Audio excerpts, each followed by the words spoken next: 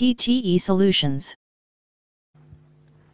These were the very first robots. Uh, they were characters in a play in the 1920s called Rossum's Universal Robots.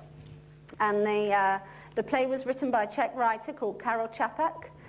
And basically, um, these robots, uh, you know, people tend to think of robots as kind of cute, cuddly toys or, you know, Hollywood depictions kind of devoid of politics. But the first robots were actually created and imagined in a time of absolute political turmoil.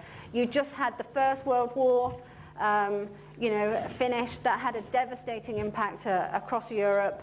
And um, so pe people were kind of, and people were kind of reflecting on what does it mean to be human, what makes us human, those kind of questions. And this kind of context is what inspired Čapek to kind of uh, write this play.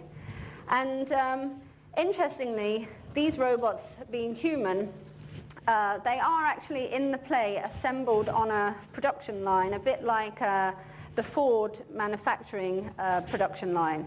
So even though they are human, they are assembled, and these robots are designed to labour, and that is their uh, primary purpose in society.